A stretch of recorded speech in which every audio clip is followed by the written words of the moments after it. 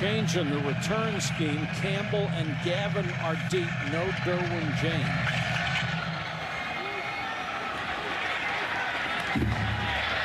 Taken at the three by Keith Gavin. Looking for a block and got it.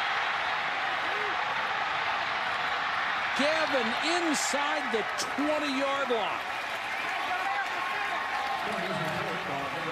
They had one from 101 called back. This one is 81, and boy, did they need that. I never believed in kicking the ball in the middle of the field, always kicking the corner, too much room to cover.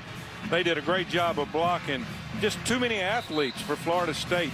You know, I don't think you'll see many more kickoffs from Wake Forest. They could be pooching it, kicking it out of bounds, doing something. Do not kick the ball deep to these guys. They're way too athletic.